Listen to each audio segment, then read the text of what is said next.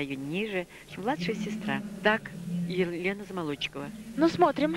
Елена Замолочкова, двукратная олимпийская чемпионка.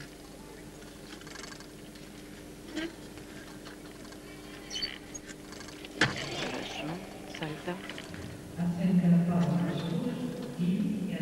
А таким хлестким махом она броском себя выкидывает, чтобы сделать повороты, перелет на нижнюю жертву. Чуть-чуть бы ей отгладить ноги, но это уже беда Природы. природы, да, так скажем. Но она очень много над этим работает. Ну, вот так.